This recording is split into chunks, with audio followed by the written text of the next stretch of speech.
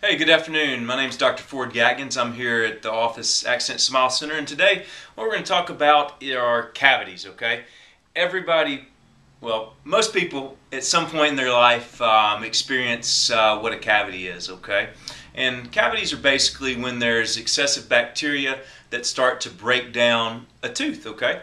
Um, there's a, a few layers of a tooth. The outer layer is called the enamel, and that's the hardest, strongest layer of the tooth.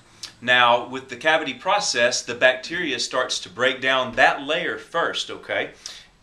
As long as the cavity has not penetrated into the second layer of the tooth, you actually don't have to do a filling on it. And a lot of people aren't aware of that. And so, um, one of the things that we try to do here, being minimally invasive and being very preventative minded here at our office in our practice, is we have techniques that we can go in and help to re-strengthen those weakened areas of the teeth in the enamel where the cavity process has begun but it hasn't penetrated all the way into the second layer of the tooth where you have to do a filling. So um, it's a process called remineralization of the enamel and so we have some very specific products that are um, in-office products that we can use and we have great results.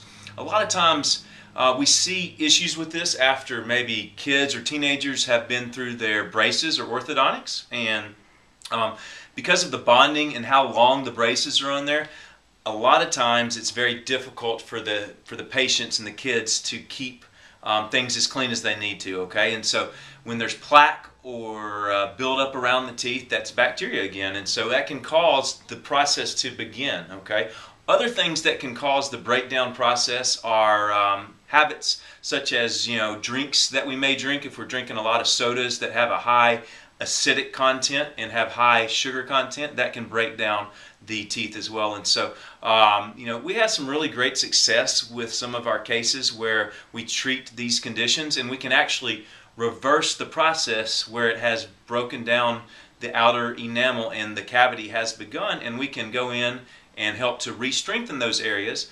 And we don't end up having to do a filling. And that's awesome because um, you know we win the patient wins. Um, regardless of contrary popular belief on the street we don't want to have to do any more fillings than we have to on our patients. And so this is a way that we can be again very preventative in nature for our patients. And we can also um, be minimally invasive with what we're doing and have to uh, have to place less fillings, which means we're, we're having to, to cut down less teeth, and um, it's a win-win situation for everybody. So um, if you have any other questions about that, give us a contact at the office, 615-740-7645, um, or check us out on the web, www.accentsmilecenter.com. Have a great day. Thanks a lot.